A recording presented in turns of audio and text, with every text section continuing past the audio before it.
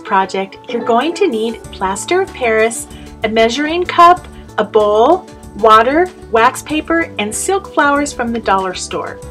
To start, we're going to remove the flowers from the stems, take off the little backing and the inner stem because we want to remove the little lift that's in between the layers. We want these flat so that they will dip nice and evenly when we put them in the plaster.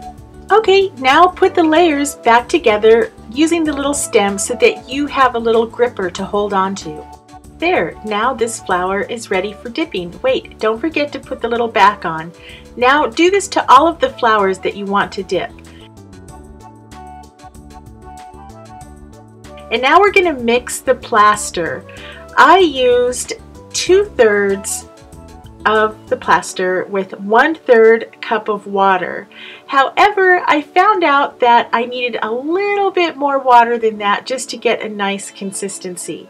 And then you're going to stir it so it's nice and creamy, almost like a, a thin pancake batter.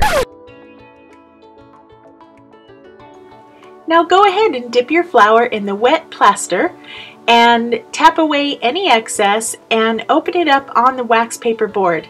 Here's another tip. Use a large bowl if your flowers are large in size. I totally should have used a bigger bowl. So here they are with the first coat. You want to let this dry and then dip them a second time. These are some flowers that I dipped a second time. And then you can decide what you want to do with them. This one I painted and varnished. This one I put clear glitter on it and I think this rose one just looks pretty like that. Same with this one. And I went ahead and I glued one of them on a flower pot. I just like the look of white on white. And there it is, my tutorial for plaster dipped flowers. Thank you so much for watching and please don't forget to like, share, and subscribe. Thanks, happy crafting, peace, love, and glitter.